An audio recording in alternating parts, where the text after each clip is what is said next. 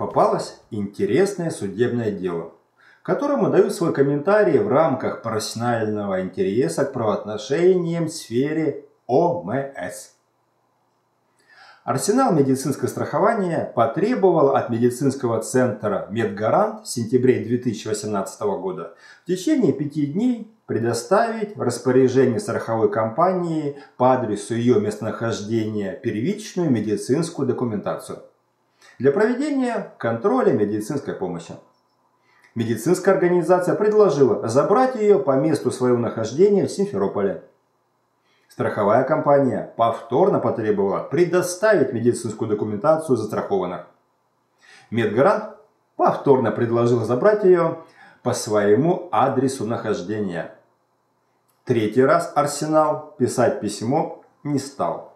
И через месяц направил в адрес медицинской организации акт плановой экспертизы качества медицинской помощи.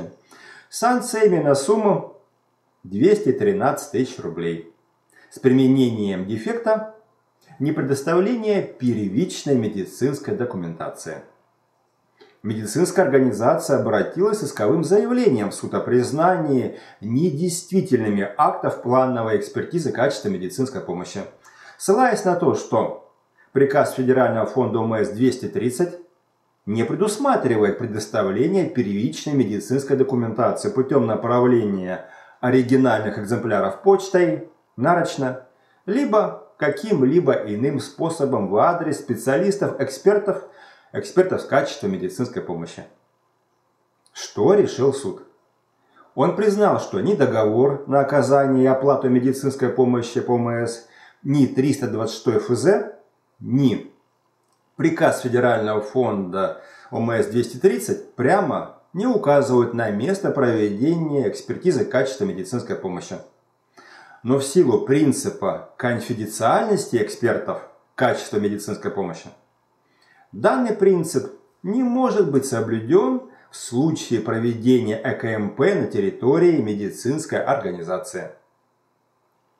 Кроме того, приказ Минздрава Республики Крым 1494, согласно которого медорганизация предоставляет оригинал медицинской документации пациентов в пределах территории медицинской организации – противоречит нормам 326 ФЗ и приказа 230 и применению к рассматриваемым правоотношениям не подлежит.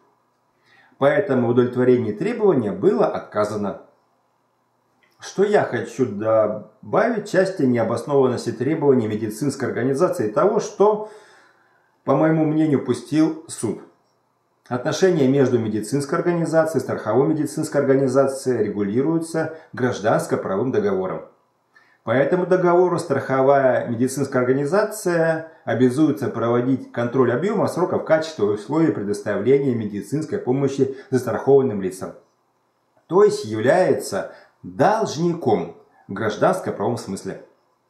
Согласно статьи 316 Гражданского кодекса России, если место исполнения обязательства не определено законом, иными правовыми актами, договором и так далее, то исполнение должно быть произведено по всем другим обязательствам по месту нахождения юридического лица.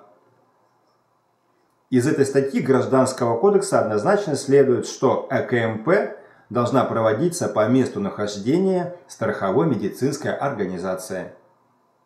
Какие выводы?